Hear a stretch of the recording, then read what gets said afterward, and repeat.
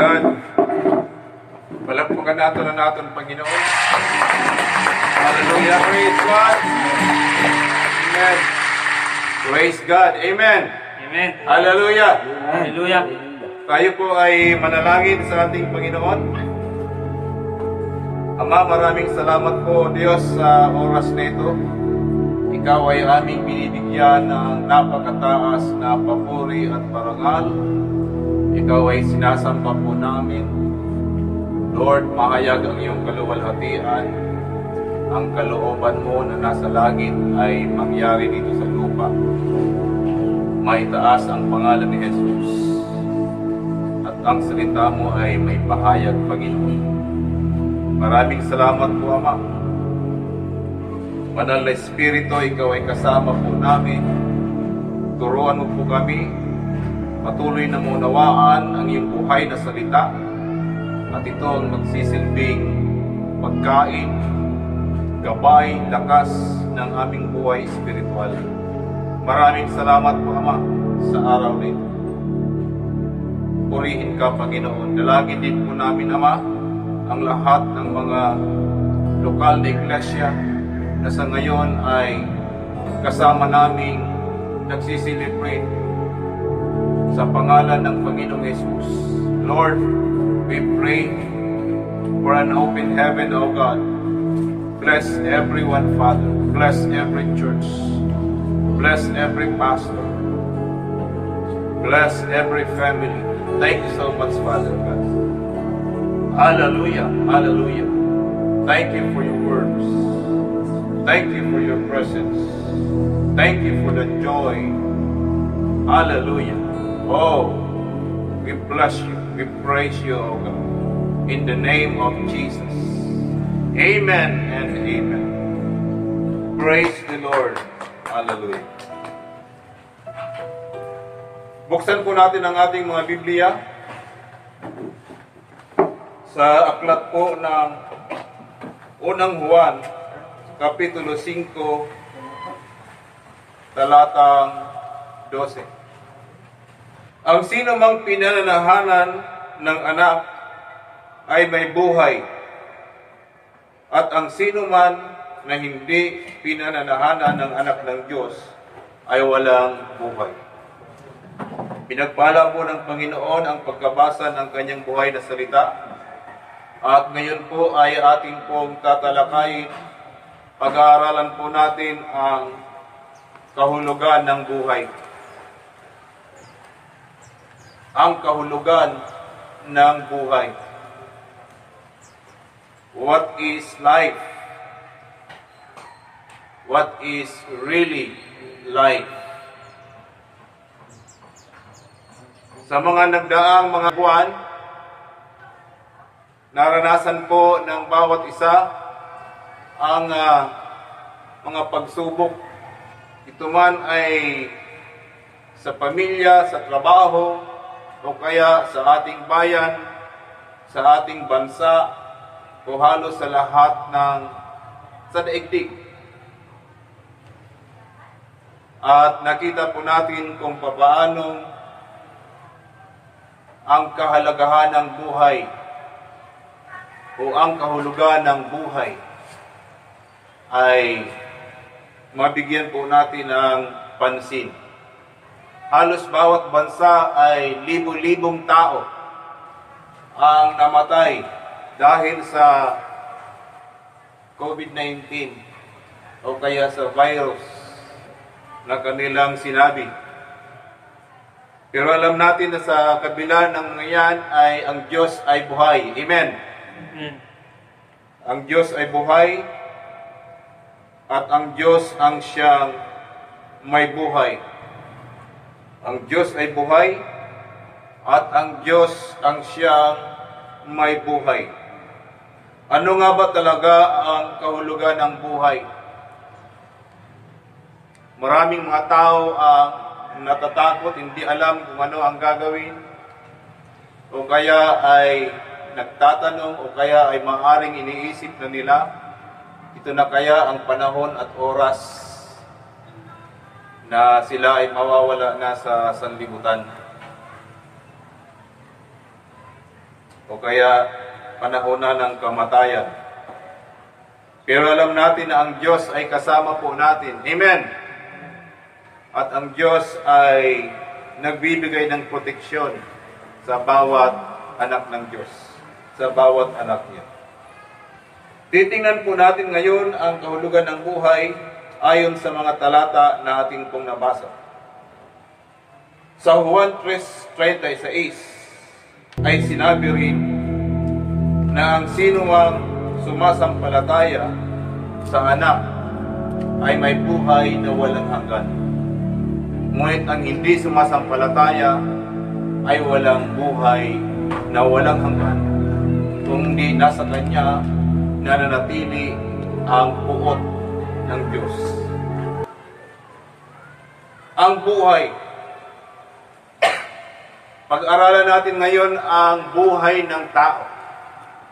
Sapagkat mayroong buhay na napakahalaga na ito ang nararapat na maranasan ng bawat tao. Ito ang buhay na ini-offer ng ating Panginoong Yesus. Sa Biblia ay makikita po natin ang tinatawag na tatlong uri ng buhay. Sapagat yung salitang buhay o sa English na life sa Bible ay merong tatlong salitang ginamit na mula sa salitang Griego. Una ay ang tinatawag na bios. Ang salitang Griego na bios. Yung bios sa Griego ay buhay. Iyan po ay makikita po natin sa Lucas Kapitulo 8, talatang 43 at Lucas 21, talatang 4. Iyon ay ang bios. Nang ibig sabihin ay pamumuhay o kaya ay tumutukoy sa buhay ng laman or physical na buhay. The natural life of man. Iyon ay ang bios. Lahat ng nilalang ay merong uh, bios, merong buhay. Kaya nga yung tinatawag na biology, bios logos. Yung bios ay buhay, yung logos ay discourse or pag-aaral. Ito ay pag-aaral ng mga may buhay at walang buhay. Bios logos or biology. At meron din sa Bible, mula sa salitang Griego, na buhay na ang salitang Griego niya ay soke. Soke. So una ay bios, referring to the physical or natural life of a man. Pangalawa ay ang tinatawag na soke. Life pa rin yun. Yan naman ay makikita natin dyan sa Mateo. Matthew chapter 16 verse 25 to 26 and Luke chapter 9 verse 24. So ang buhay na ginamit dyan ay mula sa salitang Griego na soke, meaning the soul life. The soul life.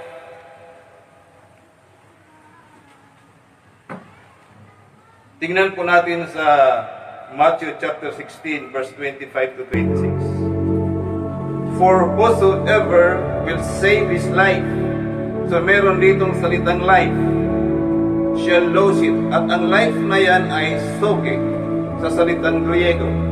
And whosoever will lose his life, soke, for my sake shall find it. For what is a man profited, if he shall gain the whole world, and lose his own soul?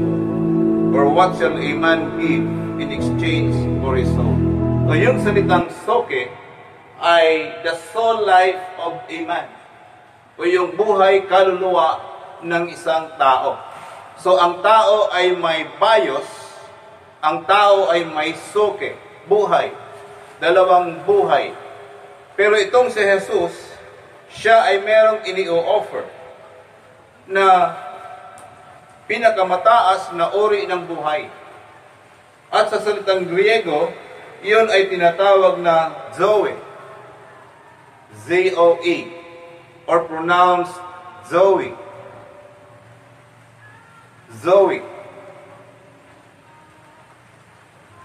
Iyan ang tinatawag na pinakamataas na uri ng buhay.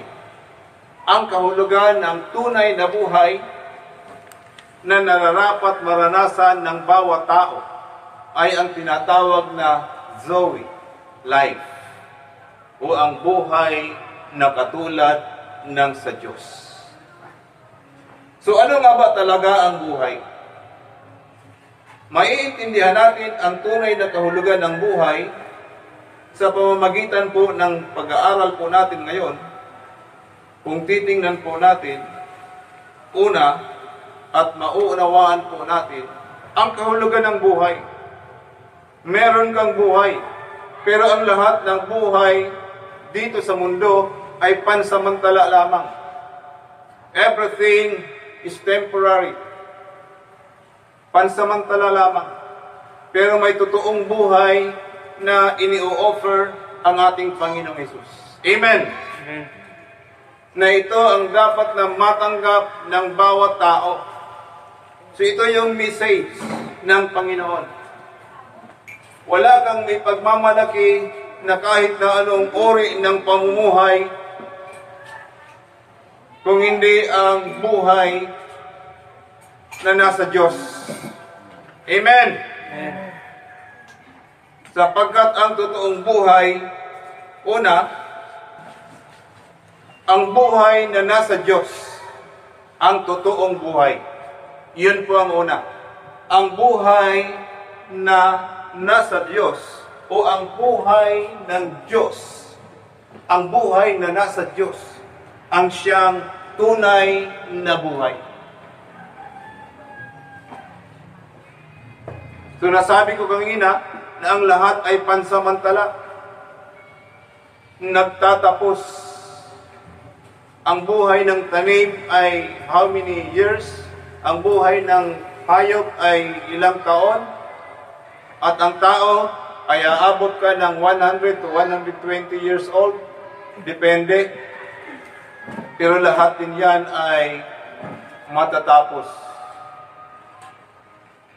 Pero ang tunay na buhay mga kapatid, tingnan po natin to. Bigyan natin ng pansin ang bagay nito sapagkat walang pinakamahalaga kung hindi ang pinakamataas na uri ng buhay. Ang buhay ng Diyos, ang totoo at tunay na buhay. Amen. Kaya nang sinabi ni Apostol Juan sa 1 John chapter 5 verse 12, ang sino mang pinanahanan ng anak ay may buhay.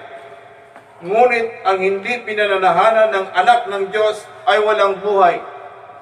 Ang ibig sabihin sa mata ng ating Panginoon, in the eyes of our God, walang buhay.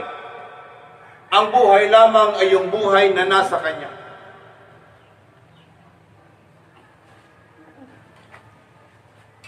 Bakit po? Sapagat ang buhay na nasa Diyos ay ito'y tinatawag na walang hanggang buhay.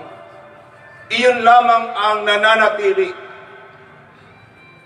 Iyon lamang ang nanatiling buhay, hindi namamatay.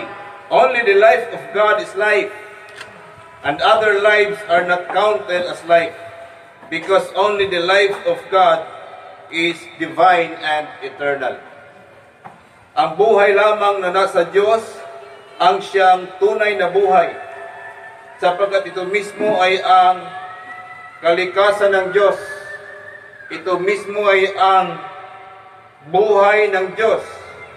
So ang layunin ng Diyos para sa atin ay upang siya ay upang siya ay mai-reflect o mai yung buhay ng Diyos ay mai-reflect po natin This is the main purpose of God. To dispense His power, to dispense His presence, to dispense His Spirit sa tao at may ipahayag ang kanyang kaluwalhatian. At ito'y mangyayari lamang kung ang buhay na ating gagamitin ay ang buhay na nanggagaling sa ating Panginoon. Ang sabi ni Jesus ay, ang magnanakaw ay naparito. Ang magnanakaw ay naparito upang magnakaw, upang pumatay, at upang magwasak. Tingnan po natin ang nangyari sa ating paligid sa buong daigdig. Ninakaw, winasak, pinatay. Marami ang mga namatay. Yan ay hindi gawain ng Diyos. Sapat ang Diyos ay nagbibigay ng buhay. Kaya nga, mapag-isip-isip ng bawat isa ang buhay na nasa natural na tao, iyan ay nagtatapos. Hindi mo nga lang alam kung kailan. Amen. Nagtatapos. Hindi mo lang alam kung kailan. Pero si Jesus ang sabi niya, ako ay naparito upang magbigay ng buhay. Amen. Isang buhay na masagana. Ang tinutukoy niya ay ang buhay na walang hanggan. Ito ay ang buhay na walang hanggan, hindi ang material na buhay ang tinutukoy ni Jesus. Ang Panginoon ay nagbibigay ng mga mabubuting bagay para sa atin. Amen. Tayo ay pinagpapala ng Diyos. Ang kanyang kabutihan ay ibinubuhos niya. Pero nang binanggit ni Jesus na masaganang buhay, ay hindi niya tinutukoy ang material na buhay sa talata niya. Ang tinutukoy niya ay ang buhay na walang hanggan. Amen. Ang buhay na totoong buhay na nasa Diyos. Harapan ni Jesus, nasa kanyang harapan ang napakaraming mga tao, mga taong may buhay, pero ang sabi niya, ako ay naparito upang magkaroon kayo ng buhay. Meaning, ang tunay na buhay ay ini-offer ng ating Panginoong Jesus. The highest kind of life, the Zoe life. So una po mga kapatid, ang tunay na buhay ay ang buhay ng Diyos. Ang buhay ng Diyos. Sapagkat ito lamang ang nananatili at ito lamang ang walang hanggang buhay. Ang buhay lamang ng Diyos ang may kalikasan ng Diyos. Ang lahat ng uri ng buhay sa kalawakan, sa buong daigdig, ito man ay sa mga anghel, ito man ay buhay na sa mga tao, ito man ay buhay na mga nasa hayop, o kaya ay mga nasa mga halaman, lahat ng uri ng buhay, ito ay pansamantala lamang at nagtatapos nawawala. Pero ang buhay na hindi nagtatapos at ang tunay na buhay ay ang buhay na galing at buhay ng Diyos. The Zoe life, eternal life. Mga kapatid, ito ang ibinibigay ko pong mensahe sa bawat isa sa atin na walang ibang napakahalaga sa buhay ng tao. Si Rabbi Zacarias ay namayapa isang uh, apologist o kaya isang theologian, Christian apologist. Pero bago siya inamayapa, ang isang talata, ang isang kataga na sinabi niya, ang pinakamalaga sa buhay ng tao ay ang buhay na walang hanggan. So ang tunay na buhay, una, ay ang buhay na nasa Diyos. Pangalawa, ang tunay na buhay ay ang umaagos mula sa Diyos. Life is the flowing out of God. Ang buhay na umaagos, lumalabas mula sa Diyos. Mula sa buhay ng Diyos, lumalabas sa Kanya, galing sa trono, at ito ay dumadaloy. Iyan ang totoong buhay. Tingnan po natin dito po sa pahayag Revelations chapter 22 verse 1 and 2. And he showed me a pure river of water of life. Pure river of water of life. Ilog ng tubig, dalisay na ilog ng tubig ng buhay clear as crystal, proceeding out of the throne of God and of the Lamb, na ito ay umaagos mula sa trono ng Diyos at ng Kordero. Ang tunay na buhay ay siyang umaagos mula sa trono ng Diyos at ng Kordero. Iyan ang totoong buhay. Ang tubig ay sumisimbolo sa buhay. Ito ay dumadaloy. Ang buhay na tinanggap natin sa Panginoon, ito ay ang buhay na umagos mula sa Diyos mismo. At ito ay natanggap po natin. Tinanggap po natin ang buhay na yan sa pamamagitan ni Kristo Jesus. At the very beginning, when the Bible speaks of life, it shows us a flowing river. Ang Biblia, kapag siya po ay naghahalintulad sa buhay, ang kanyang ibinibigay na halimbawa ay ang ilog o kaya ay ang tubig.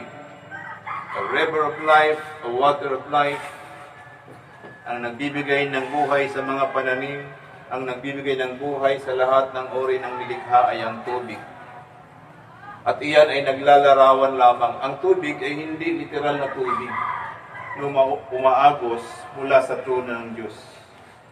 Kung hindi ito ay ang Diyos mismo.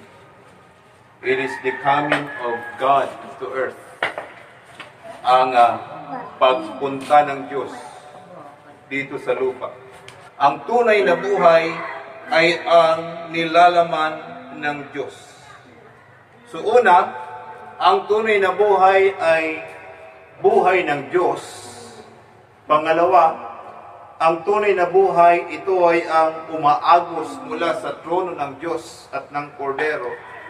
At ang pangatlo, ang tunay na buhay ay ang nilalaman ng Diyos. Kung ano ang Diyos, ano ba ang nilalaman ng Diyos?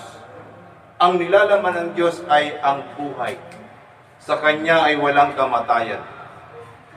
There is no death in God lahat ay buhay. Colossus 2.9 For in Him dwells all the fullness of the Godhead bodily. Sapagkat na kay Kristo ang kabuuan ng pagka-Diyos. At itong si Jesus ay nagsasabing na sa Kanya ang buhay sapagkat ang buhay mismo ay ang nilalaman ng pagka-Diyos. Iyan ay ang totoong buhay. Hindi ang tinutukoy ko na buhay ay ang mga buhay na, na natatapos or nawawala or pansamantala. Kung hindi ang tunay na buhay, ito ay ang nilalaman ng Diyos. Kung ang ating buhay bilang mga tao, meron tayong mga atay, o kaya testing, mga bones.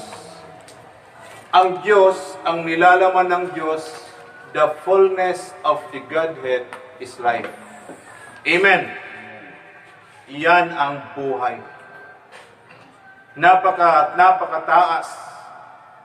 Halos ay hindi maabot ng ating kaisipan, pero ipinauunawa sa atin ng Diyos ang kahalagahan ng totoong buhay.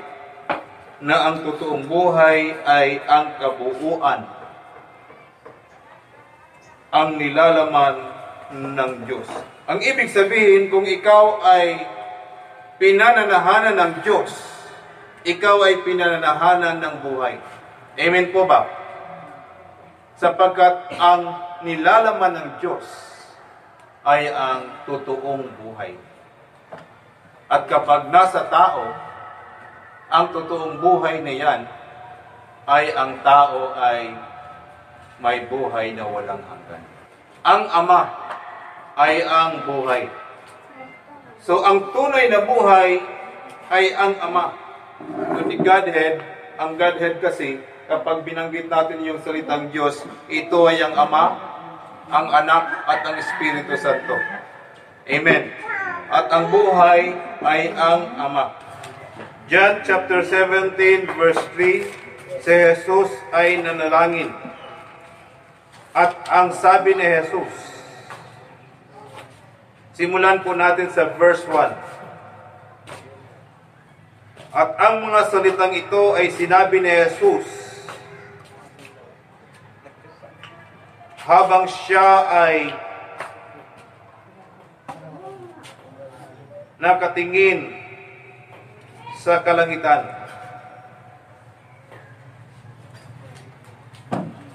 At sinabi niya, Ama,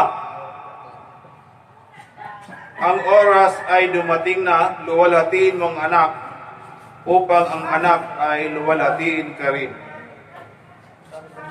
Verse 2, Kung paanong binigyan mo siya ng kapangyarihan sa lahat ng nilikha at siya ay magbigay ng buhay na walang hanggan sa marami na kung sino ang ibinigay mo sa kanya. Verse 3, At ito ang buhay na walang hanggan na ikaw ay makilala nila ang tunay na Diyos at si Yeso Kristo na iyong sinugo. Ngayon ay binabanggit ni Jesus na ang Ama ay ang buhay na walang hanggan. This is eternal life na ikaw ay makilala nila ang tunay na Diyos. Sapagkat ang tunay na buhay ay ang tunay na Diyos. Ang tunay na Diyos ang may totoong buhay. Kaya't nang sinabi ni Jesus na ako at ang Ama ay iisa, ang ibig sabihin noon ay sapagkat sila ay iisa ang buhay. Wala nang nagmamayari ng tunay na buhay. Ang Ama at ang Anak at ang Banal na Espiritu. Jesus Christ. Si Jesus Christ. Panglima, ang tunay na buhay ay si Kristo. Ang tunay na buhay ay si Kristo. Hindi lang na kay Kristo, kung hindi ang tunay na buhay ay na kay Kristo. So ang tunay na buhay ay nasa Ama, ang tunay na buhay ay na kay Kristo. John chapter 3 verse 36. Ang sino mang sumasampalataya sa anak ay may buhay na walang hanggan. Ngunit ang hindi sumasampalataya sa anak ng Diyos ay nananatili sa kanya ang puot ng Diyos. John chapter 1 verse 4. Sa John chapter 1 verse 4 ay binanggit din po ang sabi ay nasa kanya ang buhay. In him was life and this life is the light of men. Nasa kanya ang buhay at ang buhay na ito ang liwanag na tanglaw sa mga tao. John chapter 14 verse 6 ay sinabi ni Jesus, ako ang daan, ang katotohanan, at ang buhay. Si Jesus, ang buhay. Zoe, the Zoe life, ang pinakamataas na uri ng buhay, ang buhay ng Diyos. Si Kristo. Kaya kapag tinanggap mo si Jesus, si Kristo ay nasa buhay mo, ikaw na ang pinakamapalad na tao. Minsan ay tinitingnan mo ang sarili mo, kinukumpara mo sa iba, lalo na pagdating sa iba't ibang mga bagay o mga pamumuhay, pagkatapos ay maaawa ka sa iyong sarili. Huwag mong kaawaan ang iyong sarili. Tingnan mo si Kristo na nasa buhay mo, sapagkat si Kristo ang tunay na buhay at totoong buhay at totoong kayamanan, totoong buhay na, na, na nararapat na nasa tao. Life is Christ because Jesus Christ is God. The life which was God, the life that God is, is in Him. Kung paano ng Ama ay buhay, ay ganun din ang anak siya ay ang buhay. Kaya't nahayag ang buhay sa sanlibutan.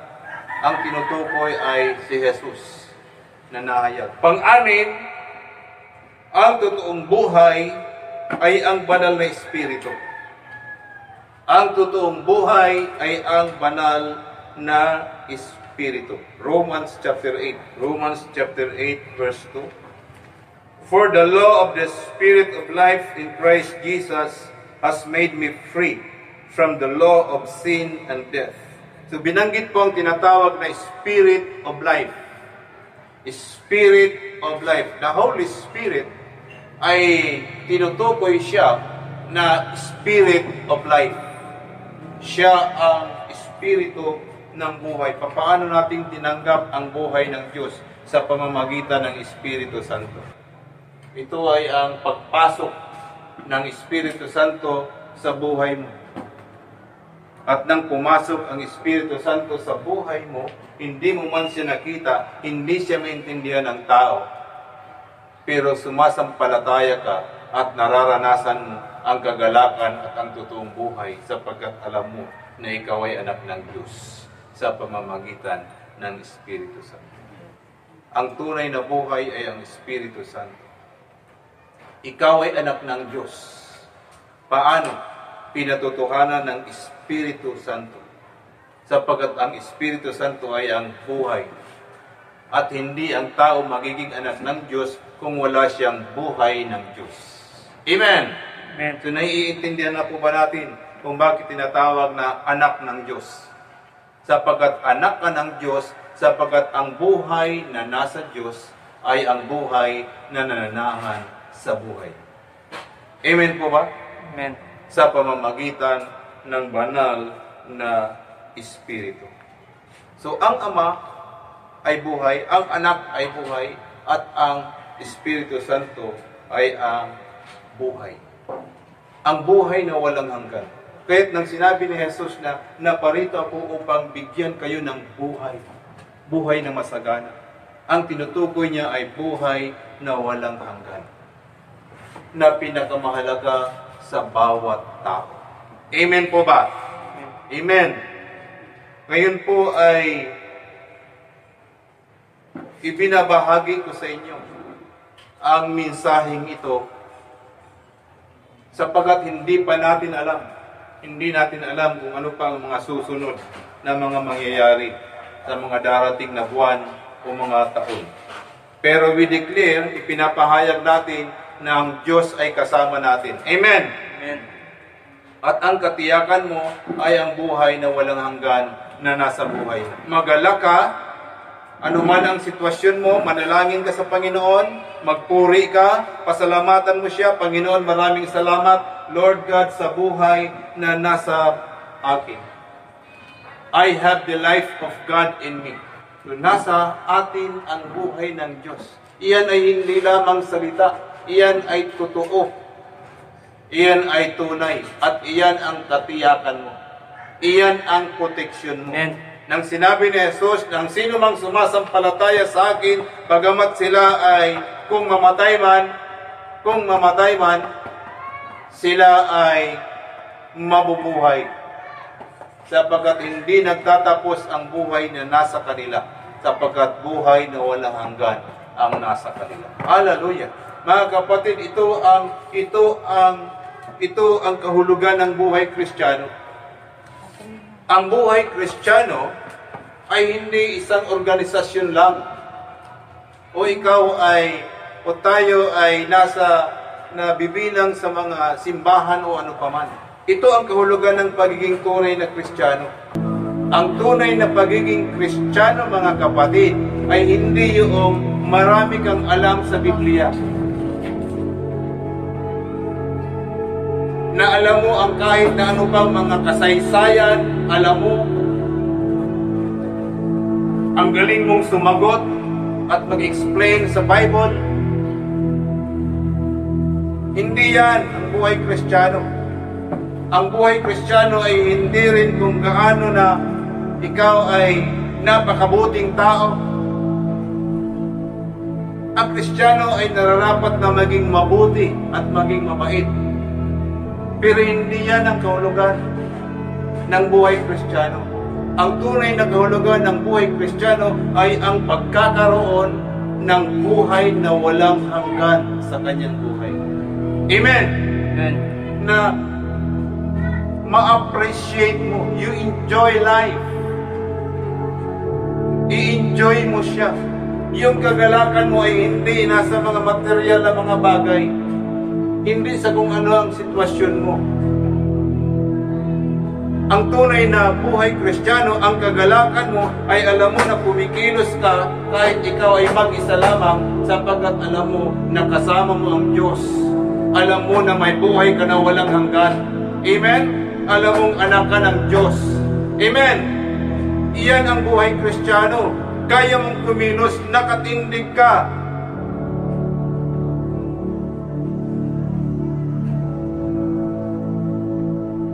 Dahil alam mong hindi ka nag-iisa. At alam mong malakas ka. Amen. Why? Bakit alam mong malakas ka? Sapagkat nasa iyo ang buhay na walang hanggan. Ang buhay ng Diyos. Yan ang totoong kahulugan ng buhay kristyano mga kapatid. Christianity is about eternal life. A person possessing eternal life hindi na kung ano-ano pa mga bagay na, oh, okay, okay kang kristyano ka, ang galing-galing mo, o ano pa. Hindi po mga kapatid. Ang kahulugan ng pagiging tunay na kristyano, ikaw mismo. Ang nakakaintindi na alam mo sa buhay mo, may buhay na walang hanggan ka. At ang buhay na yan ay ang buhay ng Diyos. Na nasa iyo. Kaya hindi ka napapagod. Dahil alam mo, nothing motivates or drives you but the life of God that is in your life. Walang ibang nagtutulak sa iyo at walang ibang nagpapakilos sa iyo sa iyong isipan, sa iyong pakiramdamdamin, sa iyong buong buhay sapagat alam mo na ang buhay ng Diyos ay nasa buhay mo. Napakasimple lang. The gospel is so simple. Ang buhay, totoong buhay, ay wala sa kautusan. The gospel is so simple. Ang tunay na buhay ay wala sa mga tradisyon. Wala sa anumang uri ng katalinuhan ng sanlibutan. Ang tunay na buhay ay na kay Kristo. Na kay Kristo. Si Jesus, ang buhay na walang hanggan. Ang Diyos, ang buhay na walang hanggan. Kaya't balikan natin ang sinasabi sa unang Juan 5.12 Ang sino mang pinanahanan ng anak ng Diyos ay may buhay na walang hanggan. Ang hindi pinananahanan ng anak ng Diyos ay walang buhay na walang. Pasalamatan natin ang Diyos at siya ay ating purihin. Magalak tayo at kasama natin siya. Na sa bawat oras, bawat araw ay iisipin mo, you are protected because of that life.